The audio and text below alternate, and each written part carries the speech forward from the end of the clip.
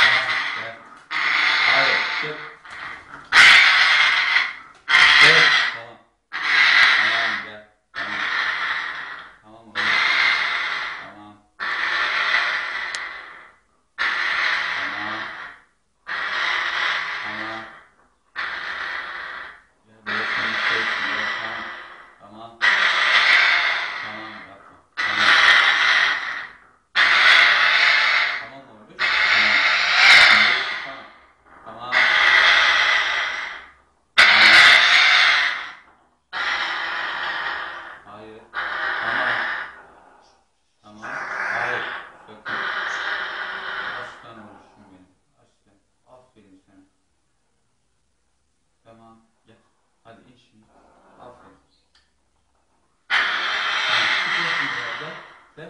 À, dập con tiếp. À, dập cửa đập mặt.